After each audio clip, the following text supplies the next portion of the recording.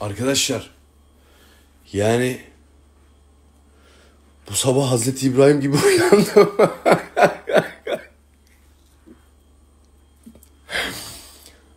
ya ben dün gece put kırdım.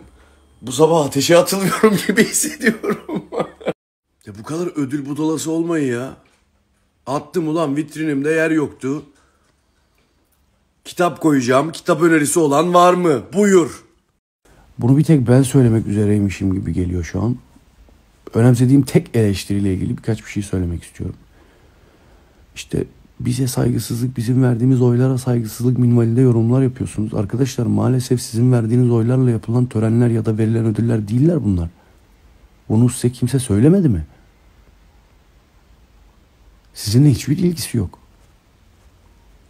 Ha, bu da bana karşı içiniz soğusun diye söylediğim bir şey değil. Bilin yani bunu. Hani bu, bu sizin kutsalınız değil. Bu sizinle alakalı olan bir şey değil. Asıl saygısızlık bu değil mi? Yazık. Üzerine gelmeniz gereken kişi ben değilim. Yapmayın. Şimdi de lütfen hani nasıl değil sen ne biliyorsun ki falan.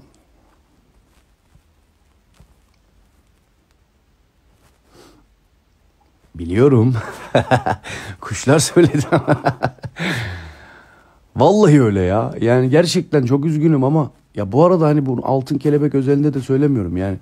İşte Grammy'de de böyle şeyler konuşuluyor. Oscar'da da böyle şeyler konuşuluyor falan filan yani hani. Demek ki ödüller böyle şeyler olmak zorunda. Yapılan törenlerde işler şansa bırakılmamalı. Bir de her yere şu şekilde servis etmişler haberleri. Bu sene Altın Kelebek ödülü alamayan Rain Man 2020 yılında aldığı ödülü çöpe attı.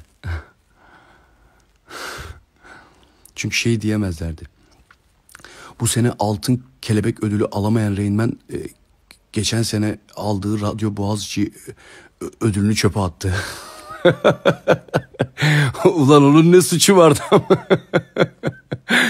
hepsini attım ben hepsini. Yani sadece konuşulmasına neden olan şey dün Altın Kelebek ödül törenleri vardı. Ve İrem, İrem Derici. Sen dobralığınla bilinen, zaman zaman patavatsızlıklarınla nam salmış bir kadınsın. Benim bildiğim her şeyi de çok iyi biliyorsun. Sırf o gece e, şov yaptığın ödül töreninin ödülünü çöpe attığım için ben niye ay götüm oluyorum? Neden yani?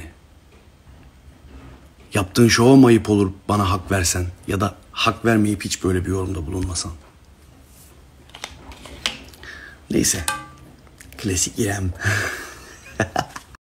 Kimse hiçbir konu hakkında konuşmayınca konuşacak bir şeyleri yokmuş gibi davranmayı kesin. Ayrıca Sefo. Sefocan. Yapma Sefocan. Ben bu adam olmak istemeyeli çok uzun zaman oldu. Çok uzun zamandır da hayatımı çok izole yaşıyorum. Ve çok mutluyum piyasanın bu saçma ya amına koyayım yakışıklı güvenlik verseydiniz bari ya. Değil mi kızım? Değil mi kızım? Ha? Aynen öyle. Havaya attım çöpe düştü. Kelebeksi uçsaymış madem. lan ben sizin tarafınızdayım lan. Ben sizin tarafınızdayım lan.